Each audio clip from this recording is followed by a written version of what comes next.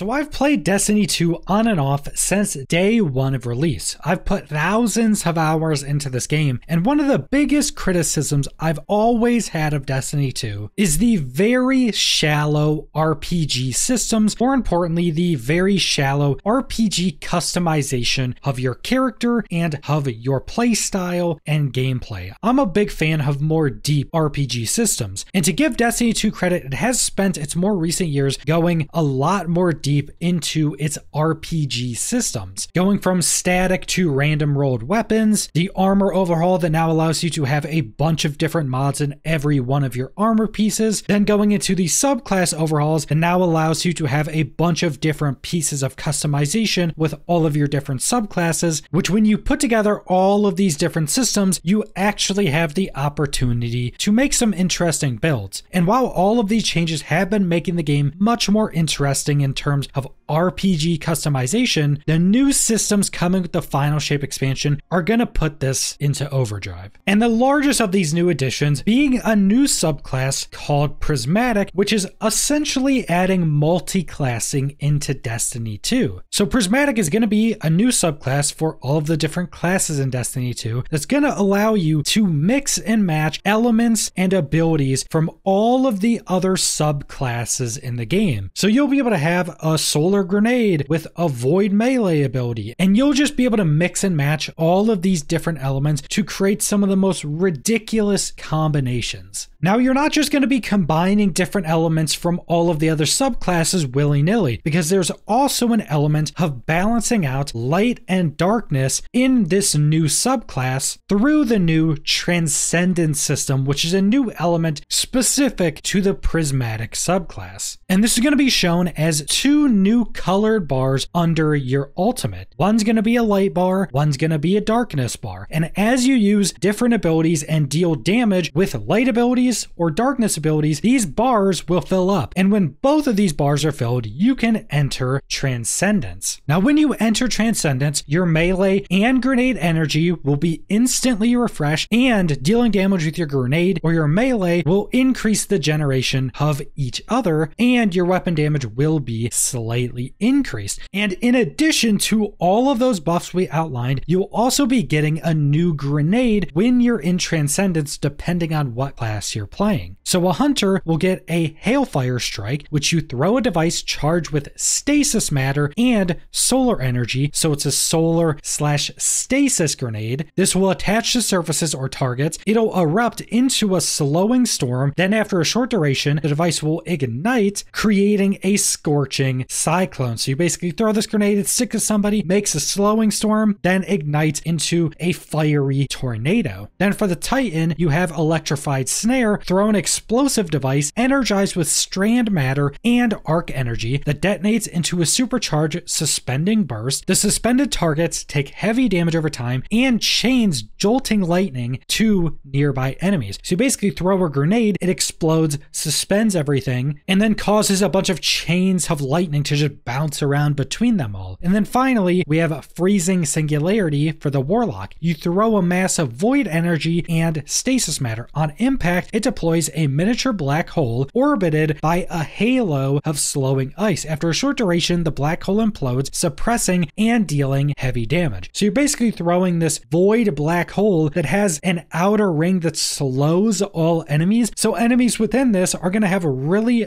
difficult time getting out of it before it blows up, does a bunch of damage, and suppresses everything. And all of these elements we just went over are tied into the Transcendence system with the Prismatic subclass. This isn't even accounting for all of the other customization you're going to have with just choosing what different abilities you want to combine together. Now, just to set expectations, you're not going to have 100% of the options of all of the other subclasses to combine in Prismatic. So there's only going to be a certain amount of supers, melee abilities, grenade abilities, and aspects that you're going to be able to combine in your Prismatic subclass. You will be able to use all of the class abilities or movement abilities for all of the subclasses of that class, but everything else you're going to only have certain options. And we do seemingly have the information of all of the different things that are going to be applicable to the prismatic subclasses, so you'll be able to see those in this video, but I did want to go over all of the super options for all of these subclasses. So starting off, we have the Hunter, and you'll be able to use Storm's Edge, Golden Gun Marksman, Silence and Squall, Silk Strike, and Shadow Shot Deadfall. And interestingly enough, you do have access to Shadow Shot Deadfall, which I think is one of the most important group play supers in the game. So it is quite interesting that hunters have access to this in Prismatic because this isn't the case with one of the other classes. And then we have the Titan, who has Twilight Arsenal, Thunder Crash, Blade Fury, Hammer of Sol, and Glacial Quake. I think Titans did get a lot of their most iconic supers, but then we have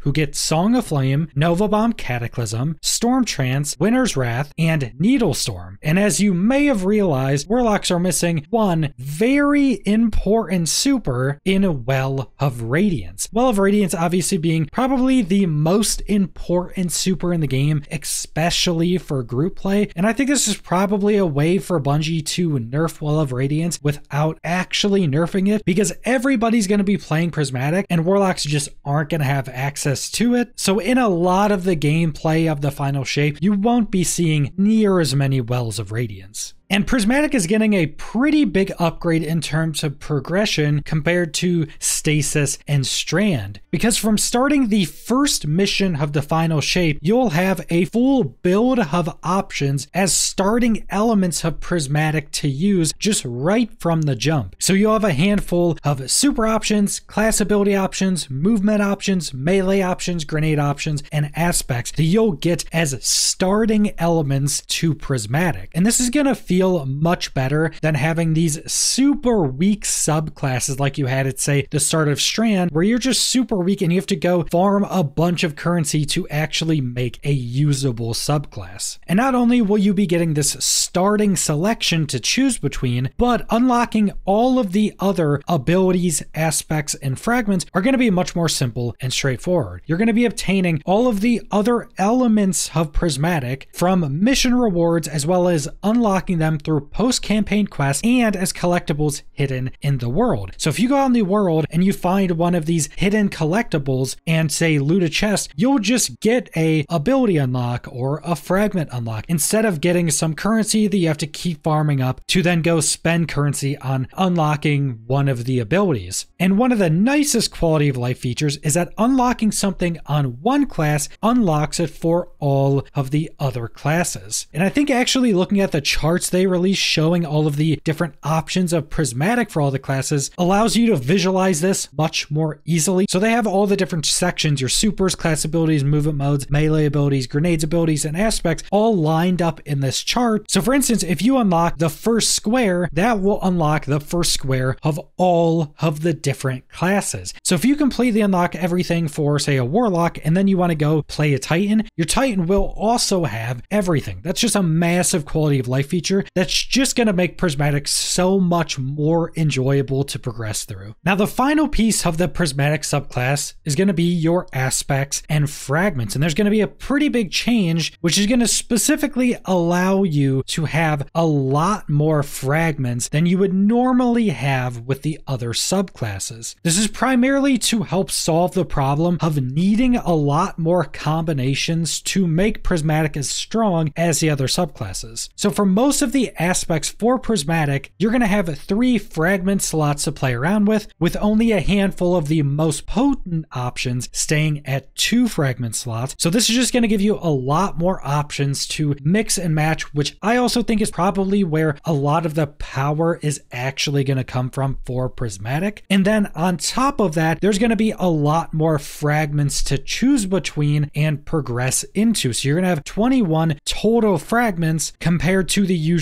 14 to 16 that other subclasses get access to. So you're just going to be able to use a lot more fragments, and then you're going to have a selection of a lot more fragments, just giving you so many more build possibilities and combinations. And we did get a handful of some of these fragments, and you can kind of see a lot of them having two different elements to them. For instance, Facet of Balance, rapidly defeating targets with light damage grants melee energy, rapidly defeating targets with dark energy grants grenade energy. Then we have Facet of Bravery, defeating targets with grenades grants volatile rounds to your void weapons, defeating targets with power to melee final blows grants unraveling rounds to your strand weapons. And you'll definitely be seeing this through a lot of the fragments, having these two different elements of play into different parts of Prismatic, usually being a light element and dark element, which will also allow you to just build up your transcendence meter more easily through these fragments. And I think that's a decent overview of the Prismatic subclass coming to Destiny 2, but that's not all that's adding more RPG depth and customization with the final shape, because there's also new exotic class items coming with the final shape that are specifically going to be tied to the Prismatic subclass. Now, these exotic class items are actually going to allow you to mix and match two different exotic powers from other exotics throughout the game. Now, the exotic powers on this class item are also going to be randomly rolled. So, this is going to add a massive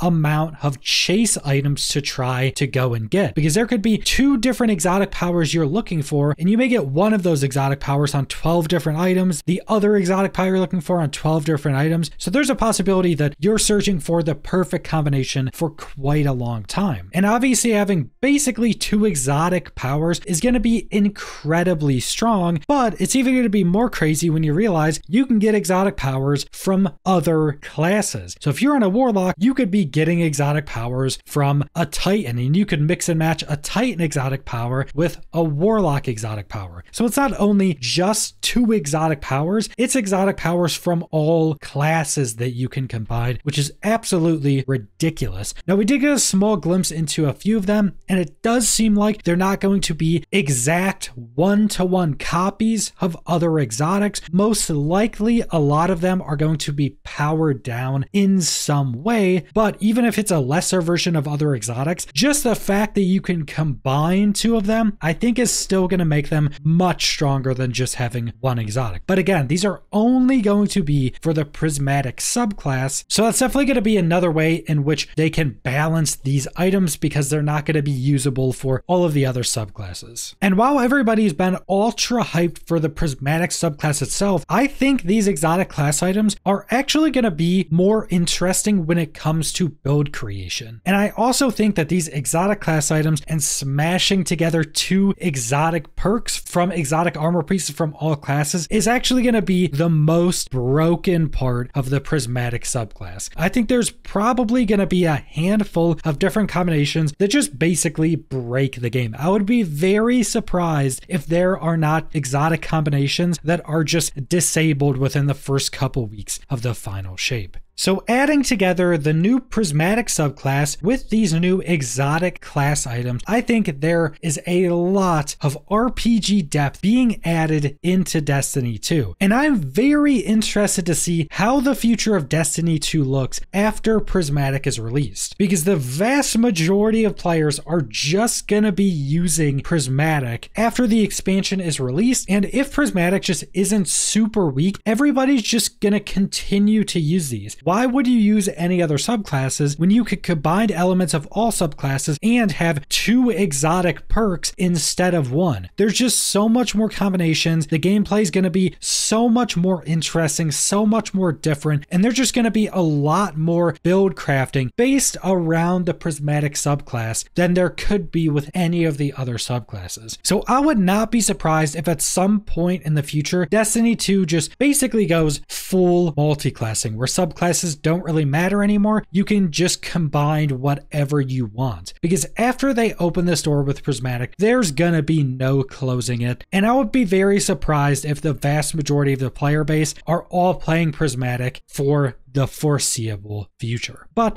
that's all I want to go over, so thanks for watching.